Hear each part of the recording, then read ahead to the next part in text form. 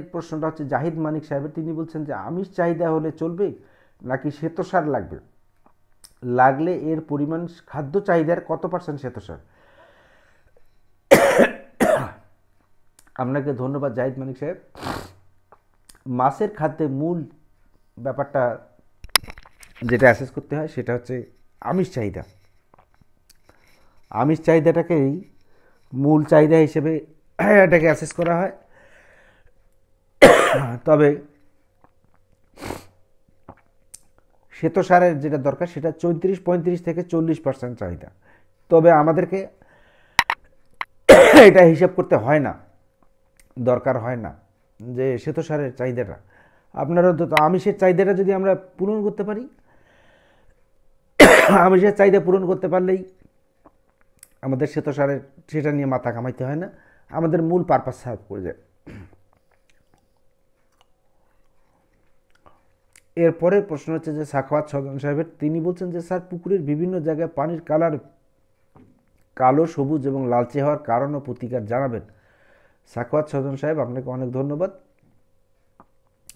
পুকুরের বিভিন্ন জায়গায় পানির কালার বিভিন্ন হওয়ার কারণ হচ্ছে যে, পুকুরের ওইখানকার মাটি আর আপনার ওখানে যে রাসায়নিক এবং জৈব সারের মিলিয়ে যে মিশ্র প্রতিক্রিয়া হয় তাতে এরকমের বিভিন্ন কালার দেখা যায়। এইটা নিয়ে আপনাদের কোনো, এটা আপনার কোনো দুশ্চিন্তার কোনো কারণ নাই, এটা প্রতিকারের কোনো মামলা নেই। প্রাকৃতিকভাবে এটা বিভিন্ন ধরনের জায়গায় বিভিন্ন মাটির সাপোর্টে বিভিন্ন রকমের খাবার তৈরি হওয়ার জন্য বিভিন্ন রকমের কালারের উপস্থিতি দেখা যায়। আবার কোনো সময় ফাইটো ফাইটোপ্লাংটনগুলিন একটু একদিকে হয়তো বাতাসে সরে গেল, আবার জু প্লাংটনগুলিন হয়তো অক্সিজেনের কারণে আর এক পাশে যায়। এটা নিয়ে দুশ্চিন্তার কোনো কিছু নাই ভাই, এটা দুশ্চিন্তার ব্যাপার নয়। আপনাকে ধন্যবাদ ভাই। এর পরের প্রশ্নটা হচ্ছে যে জ্যোতি মল্লিকের তিনি বলছেন, আসসালামু আলাইকুম স্যার, ওয়ালাইকুম সালাম। সাই শতকে এক কিলো করে চিটাগুড় শতকে তিরিশ গ্রাম করে মাখিয়ে পুকুরে ছাটিয়ে দেই। খুব সুন্দর কথা, এটা করলে আপনার মাসে একবার যদি আপনি এটা করেন, তাহলে আপনার এটা অ্যামোনিয়াজনিত সমস্যা সহ পুকুরের পানি ধারণ ক্ষমতা, এরকমের অনেক সমস্যারই সমাধান যেমন হবে, অন্যদিকে মাছের খাবার তৈরি হবে, যেটাকে বায়োফ্লক বলা হচ্ছে। এখানে যদি একটু আয়রেশনের ব্যবস্থা করা যায়, তাহলে তো সোনায় সোহাগা হবে। জ্যোতি মল্লিক, এবার সাকত স্বজনের দ্বিতীয় প্রশ্ন হচ্ছে যে, মাছের ভাবের ভিন্নতা দিয়ে কি রোগ জানা যায়? কার্পের ক্ষেত্রে আপনার ভাবের ভিন্নতা না, আপনারা পুকুরের পাড়ে যদি দীর্ঘ সময় বসে থাকেন, তাহলে আপনি স্পষ্ট দেখতে পারবেন যে অনেক রোগেই বাইরের থেকে এটা বোঝা যায়, পেট ফোলাটা যেমন আছে, গা, ঘা, ঘায়ের মধ্যে আবার বিভিন্ন ধরনের হয়, যে ক্ষত রোগের একটা ব্যাপার স্যাপার আছে, কিংবা আপনার যেমন ধরেন ছোট ছোট ঘা, লোকাল যেটা ঘা যেটা হয় মানে এই জিনিসগুলি না আপনারা পুকুরের পাড়ে দাঁড়ায় বসে অবজার্ভ করলেই, আপনার পর্যবেক্ষণ করলেই, আপনি এই জিনিসটা দেখলেই তখন বুঝবেন যে হ্যাঁ এটাতে ব্যাপার স্যাপার আছে। তো এর পরের প্রশ্ন হচ্ছে, রাসেল রানা সাহেবের প্রশ্ন হচ্ছে যে, মাছের খিচুড়ি বানানোর জন্য কি কি উপাদান লাগে যদি বলতেন স্যার? মাছের খিচুড়ি বানানোর জন্য, রাসেল রানা সাহেব, আপনাকে বলছি, মাছের খিচুড়ি বানানোর জন্য একটা উপাদান হচ্ছে গিয়ে ধরেন খুদ ফিফটি পার্সেন্ট আর বাকি ফিফটি পার্সেন্টের মধ্যে যেটা আসবে, সেটা হচ্ছে সয়াবিন যদি কিছু লাগানো যায়, এর সঙ্গে ডাল যদি, মনে করেন সয়াবিন দিলেন আপনি টেন মানে ফিফটি পার্সেন্টের মধ্যে টেন পার্সেন্ট দিলেন সয়াবিন আর ফর্টি পার্সেন্টের মধ্যে আপনি অ্যাঙ্কর দিলেন বিশ কি তিরিশ পার্সেন্ট আর বাজারে আপনার এই ডালের যে খুদ, এই ডালের খুদের একটা মিশ্রণ পাওয়া যায়, সেখানে যদি ভুসি সেই রকমের না থাকে, অর্থাৎ খোসা যদি সেই রকমের না থাকে, এইটা টেন পার্সেন্ট যদি মিলায় যদি একটা করেন, তাহলে কিন্তু আপনার খুব ভালো হবে। আর সঙ্গে রান্নার সময় দুই পার্সেন্টের মতন যদি লবণ দিয়ে দেন মানে আমরা মানুষ খাবার জন্য যেভাবে খিচুড়ি রান্না করি, ঠিক সেভাবেই খিচুড়িটা রান্না হবে। এটা অতিরিক্ত টাইটও হবে না, আবার অতিরিক্ত ঢিলও হবে না। মাঝারি হবে, আর লবণটা বেশি হবে না। এটা যদি আপনারা করেন তাহলে এটা ভালো হবে।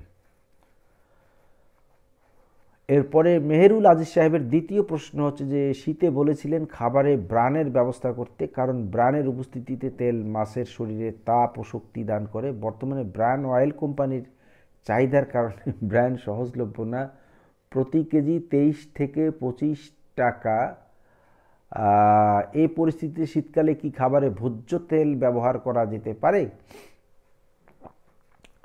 আপনাকে এখন কি বোকা লোক বলব না চালাক লোক বলব এটা বুঝতে পারতেছি না। যেটাই বলি না কেন, ভেবে শুনে বলা দরকার।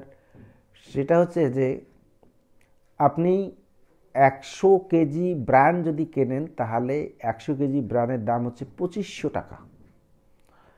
একশো কেজি ব্র্যান্ডে যদি পঁচিশশো টাকা দিয়ে যদি আপনি একশো কেজি ব্র্যান্ড কেনেন, সেখানে আপনি পঁচিশ কেজি তো তেলেই পাবেন। বাইশ থেকে পঁচিশ কেজি তেল অটোমেটিক রাইস ব্র্যান্ডের থেকে যদি কেনেন, তাহলে আপনি বাইশ থেকে পঁচিশ কেজি তেলেই পাবেন। এবং এর সঙ্গে কার্বোহাইড্রেটও পাবেন আপনি মনে করেন যে পঁচাত্তর পাঁচ কেজির মতন কার্বোহাইড্রেট পাবেন। তাহলে এক পাশে পঁচাত্তর কেজি কার্বোহাইড্রেট পঁচাত্তর কেজি কার্বোহাইড্রেট ঠিক পাবেন না। আপনি মরেন করেন ওখানে যেটা পাবেন, সেটা হলো যে ষাট থেকে বাষট্টি কেজির মতন আপনি কার্বোহাইড্রেট পাবেন। টেন কেজির মতন আপনি পাবেন মিনারেলস পাবেন। আর পঁচিশ কেজির মতন আপনি মনে করেন যে তেল পাবেন। আর ধরেন বাইশ, পঁচিশ কেজি কাছাকাছি ধরলাম। তো এইটা কি না লাভজনক হবে? নাকি বাজার থেকে তেল, এই তেলও যে আপনি মেশিন অয়েল না কী তেল যে কিনবেন, এটা তো আল্লাহ তালা ছাড়া কেউ জানে না। আমাদের সয়াবিনগুলিন সম্পর্কে, ব্রায়ন অয়েল সম্পর্কে মেলা রকমের কথাবার্তা আছে। তো আপনি সাও না কিনে আপনি মাও কেনেন, তাহলে আপনার জন্য খুব ভালো হবে। আপনি তেইশ থেকে পঁচিশ টাকা বলতেছেন ব্র্যান্ড আর ভাই, আমি তো জিন্দিগি ভর তেইশ থেকে পঁচিশ টাকা ব্র্যান্ড কিনেই তো অভ্যস্ত। আমার তো কোনো পালাবার রাস্তা ছিল না। এখন না হয় আপনার এই যে এটাকে কি বলে? ডিওআরবি পাচ্ছি। কিন্তু প্রকৃতপক্ষে তো জিন্দিগি ভর এই যে ব্র্যান্ডের উপরেই চালাইলাম। আপনার ওটা বুদ্ধিমানের কাজ হবে না। অবশ্যই ব্র্যান্ড ব্যবহার করবেন। যদি সেটা এক নম্বর হয়, পালিশ যেন না হয়। তো আপনাকে ধন্যবাদ মেহরুল্লাহ সাহেব। এরপরে সানু হোসান সাহেবের দ্বিতীয় প্রশ্ন স্যার, মাছের রেণু থেকে ক্রমান্বয়ে বড় হবার সময় মাছের দেহের ওজন ও খাবার দেওয়ার অনুপাতের হিসাবটা একটু আরেকটু ক্লিয়ার করলে উপকৃত হতাম। সানু হোসেন সাহেব, আপনাকে অনেক ধন্যবাদ। সেটা হচ্ছে যে, রেণু থেকে ক্রমান্বয়ে বড় হওয়ার সময় মনে করেন যে, একদম যখন রেণু, সেদিন কিন্তু একশো পার্সেন্ট খাবার যাবে, মোট খাবারের। মানে মাছের দেহের। অর্থাৎ এক কেজি যদি আপনি রেণু নেন তাহলে প্রথম দিন থেকে শুরু করে আপনি দশ পনেরো দিন পর্যন্ত আপনি মনে করেন যে এই এক কেজি প্রতিদিন, অর্থাৎ হান্ড্রেড পার্সেন্ট যাচ্ছে কিন্তু। আবার দশ দিনের মাথায় আপনি এখানটায় টোয়েন্টি ফাইভ পার্সেন্ট বাড়াই দিলেন, অর্থাৎ ছোয়া কেজি হয়ে গেল। তো এই আবার ধরেন আবার আবার আর এক সপ্তাহ পরে আপনি এটাকে আরও টোয়েন্টি ফাইভ পার্সেন্ট মানে আপনি সপ্তাহ দশ দিনের মাথায় মাথায় টোয়েন্টি ফাইভ পার্সেন্ট করে বাড়াইতে থাকবেন। এটা হচ্ছে যে মাছের রেণু থেকে মানে উপরের দিকে ধানিটা নিয়ে আসার পর্যন্ত। এটাকে শর্টিং করে যখন ধানিতে নিয়ে যাবেন আপনি, আলাদা পুকুর করবেন, তখন আবার মাছের দেহের ওজনের থেকে পঁয়ত্রিশ থেকে চল্লিশ পার্সেন্ট খাবার দিতে হবে এবং এইটাকে দিনকার দিন এটাকে কিন্তু খাবার মানে এই খাবারের হিসেবটা কিন্তু মানে মজার ব্যাপার। এক পাশে মনে হচ্ছে কমানো হচ্ছে, আর এক পাশে মনে হচ্ছে বাড়ানো হচ্ছে। তো এইটা আস্তে আস্তে বাড়তে থাকে, কমে না। তো এই জিনিসটা যখন দেখা যায় যে মাছ পঞ্চাশ গ্রাম হয়ে গেছে ওজনের বা পঁচিশ গ্রাম হয়ে গেছে, তখন দেখা যায় যে এটা দেহের ওজনের দেহের ওজনের কথাটা বারবার। এই জন্যই আমি বলছি ভাই, মাছ চাষটা করতে গেলে একটু চর্চা করা দরকার। মনে করেন যে দশ গ্রাম, পনেরো গ্রাম যখন মাছ হয়ে গেছে, তখন আপনি মনে করেন যে দেহের ওজনের ফাইভ পার্সেন্ট দেওয়া শুরু করলেন এটা কার্পের ক্ষেত্রে এবং আরও যত বড় হতে থাকবে তখন মনে করেন যে আচ্ছা একটা হিসেব বলি, একশো কেজি মাছের জন্য পাঁচ কেজি খাবার দেবেন। তো পাঁচ কেজি খাবার দিলে আপনি দশ দিনে অন্তত আরও পঞ্চাশ কেজি খাবার দিয়ে দিলেন। তাহলে পঞ্চাশ কেজি খাবার দিলে এটা কিন্তু মোট মাছের সঙ্গে মিল হয়ে গেল। পঞ্চাশ কেজি খাবার দিলে আপনি মনে করেন যে কমপক্ষে পঁচিশ কেজি থেকে তিরিশ কেজি বা পঁয়ত্রিশ কেজি মাছের ওয়েট চলে আসলো। কারণ আপনার খাবারের বাইরেও কিন্তু প্রাকৃতিক খাবার সে পুকুর থেকে সংগ্রহ করতেছে। তাহলে মনে করেন একশো পঁয়ত্রিশ কেজির মতন মাছ যদি হয়, তাহলে তার ফাইভ পার্সেন্ট যদি দেন, তাহলে কত হবে? তাহলে কিন্তু এটা সাড়ে ছয় কেজির মতন চলে যাবে। কিন্তু এইটা করা যাবে না। এটাকে বলছে যে, মাছ যেহেতু একটু বড় হয়েছে, সেহেতু আরেকটু কমায় নিয়ে আসতে হবে পার্সেন্টেজের ক্ষেত্রে। তাতে ফাইভ পার্সেন্ট থেকে সাড়ে চার পার্সেন্টে নিয়ে আসে। তাহলে একশো কেজির জন্য চার কেজি। আর মনে করেন পঁয়ত্রিশ কেজির জন্য এক কেজি বা দেড় কেজি। এই সাড়ে পাঁচ কেজি। তো এই ঘরে ফিরে ফিরে আপনার এই দশ দিনের মাথায় টোয়েন্টি টোয়েন্টি থেকে টোয়েন্টি ফাইভ পার্সেন্ট করে খাবার এরকমের বাড়ানো এইভাবেই আর কি জিনিসটা আপনার মানে করতে হয়। এই জিনিসগুলো একটু বোঝার ব্যাপার। আর কার্পের ক্ষেত্রে কিন্তু এত মাথা ব্যথার কিছু নেই। একে প্যান্ট ভরায় দিয়ে দেন ফাইনাল আলাপ শেষ। আমার মনে হয় যে সানু হোসেন সাহেবকে আমি বুঝাতে পারছি। আশরাফুল ইসলাম শিলন সাহেব বলছেন যে, স্যার, এই ক্লাসের পর আর বিষয়ভিত্তিক প্রশ্ন থাকে না। প্রশ্ন করলে নিজেকে বোকা বোকা লাগে। ভালোবাসা ও শুভকামনা রইল সবসময়ের জন্য। আপনাদেরকে যদি আমি ক্লিয়ার করতে পারি, তাহলে আমি বলব যে, আমার জীবন আমার চেষ্টা, আমার ক্লাস সব কিছু সফল হয়েছে, আশরাফুল ইসলাম শিলন আপনাকে অনেক ধন্যবাদ ভাই। মানে অন্তত আমি অন্তত একটা লোককে হইলেও ক্লিয়ার করতে পারছি। তা তার বাইরেও এটা ওটা পাশে যদি আশপাশ অনেক প্রশ্ন ধরেন মানে জানার তো আর কোনো শেষ নেই, প্রয়োজনেরও কোনো শেষ নেই। এই জন্যই আর কি জাস্ট একটু চর্চার মাধ্যমে যদি আমরা আর একটু মানে আমারটা বাইরে আর একটা কিছু জিনিস যদি জানার সুযোগ থাকে, তো এই জিনিসটা আর কি যদি করি। তো ভালো থাকেন আপনি ভাই। আপনাকে অনেক ধন্যবাদ। এরপরে রাশেদ খান সাহেবের প্রশ্ন হচ্ছে, তেলাপিয়া নার্সারি থেকে পুকুরে নেওয়ার সময় ওজন সর্বনিম্ন কতটুকু হওয়া ভালো? Very nice thank you very much ভাই। সেটা হচ্ছে যে, তেলাপিয়া নার্সারি থেকে পুকুরে নেওয়ার জন্য আপনি কমপক্ষে দশ গ্রাম সাইজ হওয়া দরকার। ঊর্ধ্বে যদি আরও পনেরো থেকে বিশ গ্রাম করতে পারেন, তাহলে খুব ভালো হয়। কারণ তখন মাছটা না গুনতে সুবিধা হয়। এরপরেও কিন্তু সাপ পানকৌড়ি, এদের আক্রমণটাকে সবসময় মাথার মধ্যে রাখা দরকার। তো আপনাকে ধন্যবাদ ভাই। দশ থেকে বিশ হইলে সবচেয়ে ভালো আর কি। এর পরের প্রশ্ন হচ্ছে যে ইস্পাহানি চৌধুরী সাহেবের প্রশ্ন। তার প্রশ্ন হচ্ছে যে, স্যার, সয়ামিলেও গমের ভুসি, সয়ামিল ও গমের ভুসি, মোটা দানা, এগুলো কি মেশিনে আটা বানিয়ে দিতে হবে নাকি ছোট দানা ভিজিয়ে দেওয়া যাবে? অনেক ধন্যবাদ ভাই। গমের ভুসিটাকে কিচ্ছু করার দরকার নাই। তবে সয়ামিল যেটা আছে, সেটা অবশ্যই গুঁড়া করার পক্ষে আমি। কারণ আপনার এটাকে যদি গোটা অবস্থায় দিয়ে দেন, তাহলে মনে করেন যে যে মাছটা চালু কিংবা স্বাস্থ্য ভালো এবারটা খপ করে আপনার সয়াবিনটা উঠাই নিয়ে চলে গেল। তো ওর পাশে যে অন্যান্য খাবার উপাদানগুলি যে থাকতেছে, এরা কিন্তু পড়ে থাকতেছে। এবারটা মাংসটা, ওই বিরিয়ানির মাংস খাওয়ার মতন, ওই মাংসটা উঠাই নিয়ে চলে গেল। তো এই জন্যে এমন যদি হইতো যে, ওরা তো আর হাত তাত নাই। তা মুখ দিয়েই তুলে খায়। তা তুলে নেওয়ার সময় কে ছোটোটা তুলবে? বড়টাই তোলার চেষ্টা করবে। তো এরকমের যদি এরকমের অবস্থা হইতো মানুষেরও যদি এরকমের কেস হইতো, তাহলে আমি কি করতাম? আমি করতাম যে মাছ, মাংস যা কিছু দেবো, সব কুচি কুচি কুচি কুচি করে কেটে দেবো আর সব জিনিসের সঙ্গে সব জিনিস সমানভাবে মাখা থাকবে। সো দ্যাট মুখ দিয়া যখনই যতটুকু সে তুলে নিতে থাকবে, সে আপনার তার মানে আনুপাতিক হারে অন্যান্য সমস্ত উপাদান আনুপাতিক হারে যেন তারা নিতে পারে, এই চেষ্টাটাই আমাদের করা দরকার। মানে তাতে যেন খাবারের মধ্যে কোনো ইমব্যালেন্স যেন না হয়, এই এই জিনিসটা আমাদের খেয়াল করা দরকার আর কি, যে ইমব্যালেন্স যেন না হয়, এটা যদি আমরা খেয়াল করতে পারি, তাহলে আমাদের এই জিনিসটা সমস্যাটা থাকবে না। তো খাবারের ব্যাপারে যে জিনিসটা দেখা দরকার, সেটা হলো যে খাবারের ডিস্ট্রিবিউশনটা যেন সমান হয় বড় মাছগুলিন কিন্তু সবসময় তাড়াতাড়ি খায় আগাম খায় এবং খুব মাস্তানি করে খায়। কার্প মাছ বলছি জন্য যে এরা খুব ভদ্র, তা কিন্তু নয়। চরিত্র কে যে কখন পাল্টায় ফেলবে, ক্ষমতা পেলেই মানুষের যেমন চরিত্র পাল্টায় যায় মাছেরও সাইজ যখন বেশি হয়, তখন কিন্তু তারও চরিত্র পাল্টায় যায়। আমি ব্যক্তিগতভাবে এই জিনিসটা অবজার্ভ করছি যে সাইজের যদি বিভিন্নতা হয়, মাছের সাইজের যদি বিভিন্নতা হয় মজুদ ঘনত্বে, সেক্ষেত্রে একটা সাম্রাজ্যবাদী একটা পরিবেশ কিন্তু সেখানেও আসে। আমি দেখছি যে বড় বড় মাছগুলি, ওরা গিয়া যে খাবারটা খাইতে থাকে, জল হস্তির মতন গপাগপ গপাগপ মানে কি খাচ্ছে এইটা আর কি মানে না দেখলে এই জিনিসটা বোঝা যাবে না। আর ওখানে যদি ছোট পোনা টানা যেগুলি আশপাশ যদি এরকমের ছোট পোনা টানা যদি কেউ চাপে, তাহলে দেখা যায় যে বড় মাছগুলি একটু পর পর, হই মানে হয়ে এরকমের একটা ভয় দেখায়।